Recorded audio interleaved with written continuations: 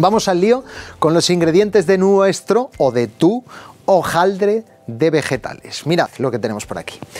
Tenemos 60 gramos de queso mental y 60 gramos de grana padano. Tenemos también 200 gramos de nata y 3 huevos de gallina feliz. Los vegetales que hemos elegido, no hemos querido cargarlo mucho, de verdad. Creo que aquí menos es más. Necesitamos cebolla, cherries, abundantes cherries, eso sí, calabacín, perejil, por supuesto pondremos sal, pimienta negra y el hojaldre, porque la quiche habitualmente se hace con una pasta que se llama pasta brisa, pero a ti te gusta más de hojaldre, pues lo vamos a hacer de hojaldre. Está en el frigo, que es donde tiene que estar justo hasta el momento antes de usarlo. Y precisamente vamos a empezar con ello, que diréis, ya vamos a hornear si no tenemos nada de esto hecho, es que le sienta muy bien ponerlo en el molde y una vez que está puestecico en el molde, entonces ya lo que hacemos es pasarlo al frigo o incluso un golpecito de congelador. Le sienta de maravilla eso, porque coge la forma, la estructura y de esa forma mucho mejor. Así que, mirad, compradito, ya os he dicho muchas veces, esto a reciclar, ya os he dicho muchas veces que hace un tiempo era bastante difícil conseguir buenos hojaldres si no eran pastelería. Los mejores hojaldres siempre los vamos a encontrar en pastelería. Así que id a vuestra pastelería de cabecera y compradlo ahí. Pero si no, hoy en día tenemos muy buenos hojaldres de mantequilla, que es la clave, en cualquier supermercado. Así que podemos valernos de ellos para hacer grandes cosas, como en el día de hoy precisamente. Venga pues, vamos al lío. Tenemos por aquí nuestro molde y hay que mirarlo primero si monta y cabe. ¿Veis que se queda un poquito corto? Bueno, pues no pasa nada. Hacemos así, vemos lo que falta, dejamos a un poquito y pasaremos el rodillo. Claro, cuando el diámetro no da, pues habrá que estirarlo. O sea que hemos hecho muy bien en sacarlo, comprobar, para luego poder estirar. Para esto sí que le voy a dar un poquito de calor con el de las manos mismos. Yo soy un hombre de, de manos calientes, entonces un poquito con las limpias también, por supuesto. Entonces le doy un poquito de calor tal que así al hojaldre la mantequilla, pues obviamente al coger el calor se ablanda, se pone pomada y ya lo tenemos un poquito más apañado. Ahora nos hace falta el rodillo. Venga, si lo encuentro os prometo que vamos a amasarlo. ¿Dónde está el rodillo? Iranzo. Lo tenemos por... Lo he encontrado. es que tampoco a veces me cambian las cosas, me boicotean, pero cuando me entere de quién ha sido, no os preocupéis que le daré su merecido. Cogemos el rodillo y estiramos. Lo que se trata es de estirar. Y fijaos que lo estoy haciendo en el mismo papel de horno, porque esto es papel de horno, donde nos venden el hojaldre. Así que, ¿para qué gastar nuestro papel de horno si tenemos aquí el que nos traen y que funciona de maravilla? Vale. Una vez que tenemos esto ya estiradico, lo primero conseguimos un hojaldre más fino, que también hay veces que si la masa es muy gorda se apodera el sabor de todo, y mira que el hojaldre está rico. Venga, yo creo que aquí cogemos ya el diámetro. Molde de quiche. ¿Merece la pena comprarse una? Sin duda alguna. Vale cuatro perras y si sois amantes de la quiche es importante. Y lo que es muy importante es que no cojáis un molde tal que así, sino que el molde sea desmontable. Porque si no, sacarlo de aquí se antoja harto complicado. Que me gusta mucho esa expresión y hacía tiempo que no la decía, por cierto. Así que cogemos por acá, ponemos con arte y con salero nuestra masa, ahora sí que monta y cabe, y retiramos con cuidadín el papel de horno. Es agradecido el hojaldre y además como aquí no es importante que suba, si se rompe algún trocito podéis parchear con estos sobrantes de aquí. Creo que me he explicado, ¿no? En fin, que si se rompe, parcheamos. El caso es que quede todo cubierto de hojaldre y chispún, que hacía mucho que no lo decía también. Mira, cogemos por acá. ¿Veis que aquí no llega? Pues estiramos un poquito. Ajustamos bien, ajustamos, ajustamos y una vez que tenemos por acá, Mira, recortamos. ¿Cómo recortamos? Cogéis la lomera del cuchillo, de este que es plano mejor, y hacéis esto. ¿Veis? Y se queda perfecto. Aquí que no llega, pues si queréis, parcheáis y que llegue. Ya está. De esto se trata. No tiene más complicación la cosa. Es decir, no hay que tener una técnica prodigiosa, que ya sabéis que no es mi fuerte precisamente, para poder hacer esto. Vamos recortando y donde veamos que falta, le ponemos parchecico y lo tenemos apañado. Venga, recortamos y parcheamos.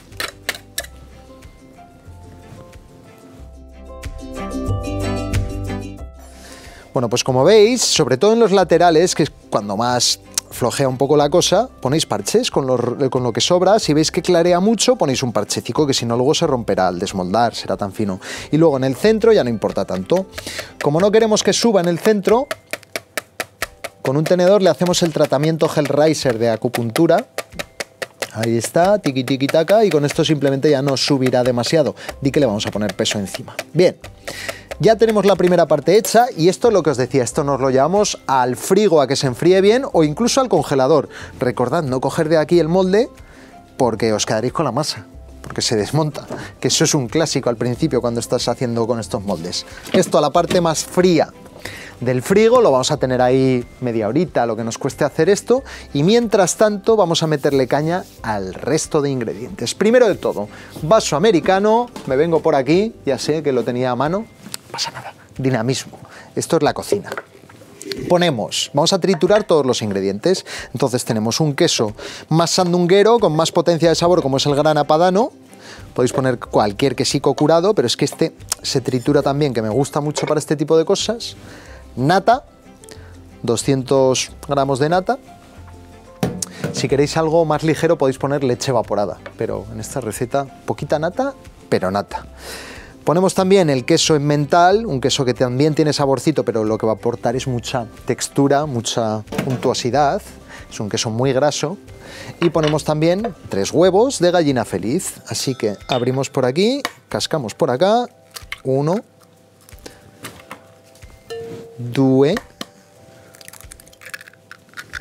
y tres. Y ahí lo tenemos.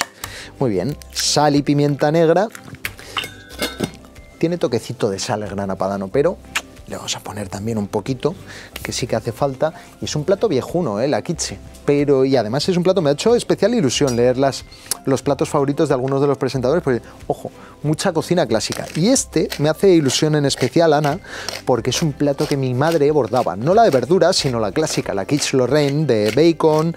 Bueno, todos la conocemos, de queso, súper deliciosa pero es un plato antológico y se están perdiendo las quiches, se están perdiendo entre la gente que se las come y que luego en los restaurantes pues vas y no las ofertan, las quiches se están perdiendo y eso no puede ser, María Teresa. Así que cogemos pimienta negra como si no hubiese un mañana, nos venimos aquí a la batidora y trituraremos hasta dejar bien finico. Ahí está, le metemos caña.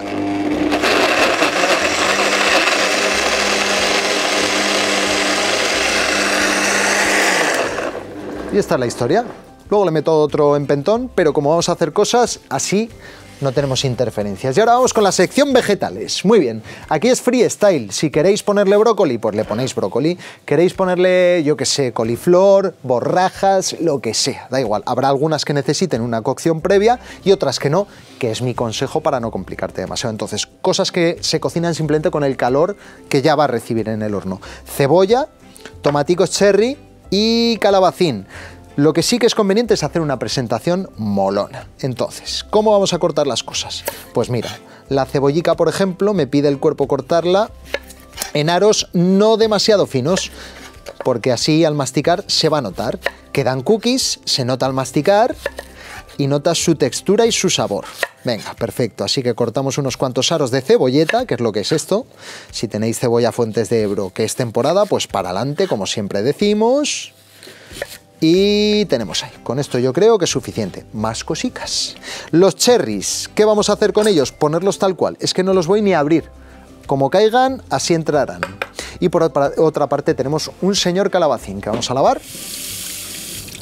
Frotamos muy bien secamos y ahora sí que lo podemos usar. Y aquí sí que nos vamos a lucir un poquito. Merece la pena porque el calabacín, si lo pones bien, si lo cortas con el grosor necesario, puedes enroscarlo y eso queda súper chulo. Lo primero de todo, vamos a cortar aquí el nacimiento, la unión, ahí está, y también el final. Venga, monta y cabe. Si tenéis gallinas, pues para las gallinas. Como yo no tengo, pues ahí se queda. Y vamos a ir cortando. Vamos a ver el grosor que sacamos. Mirad, vamos a cortar un poquito más. Estos primeros trozos salen un poquito más finos, pero los siguientes, ahí está. Mirad, esto es más o menos lo que queremos, porque enroscas, enroscas, enroscas, mira qué cosa más chula. Y esto precisamente es lo que vamos a poner aquí. Mira qué canutillo mágico de calabacín. ¿Mola o no mola? Pues vamos a llenar la quis de ese mejunjito, de todos estos vegetales, de todos esos rollitos de calabacín, de un poco de perejil para darle color. ¡Uh, uh, uh! Pero por favor, Monchito,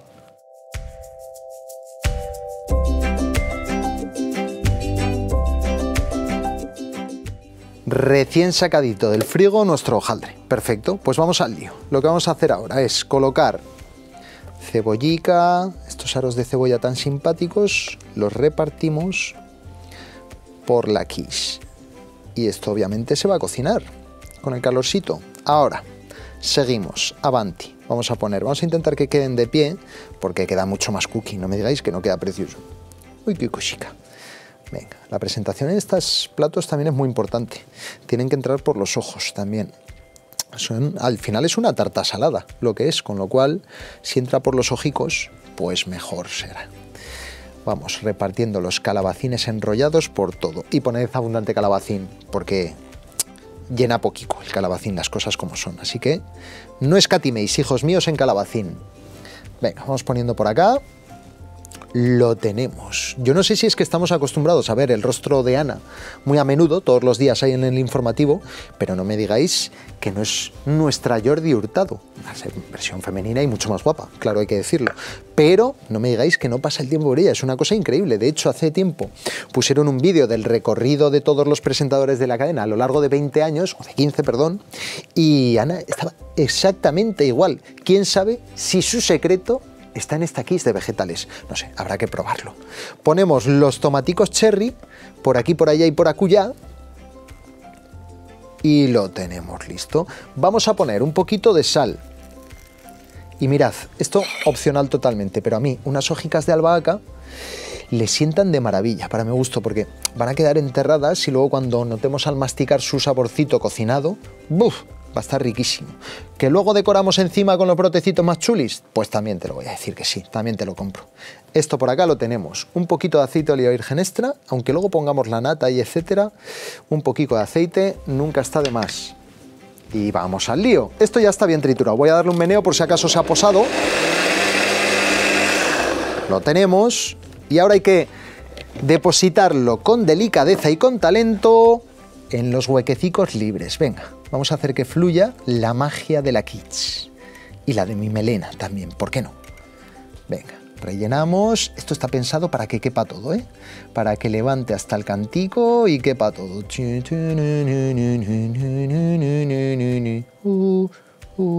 Esos tropezones son de queso. No pasa nada. Bienvenidos sean. Ahí lo tenemos. Perfecto. Monta y cabe. Qué bonito está, ¿eh? Pues esperaos a que salga del horno porque nos vamos a 175 grados durante aproximadamente, calculo, 25-30 minutos. En cuanto la nata esté cuajada, lo demás estará cocinado, prometido. Así que me voy para el horno. Que alguien me abra la puerta, por favor.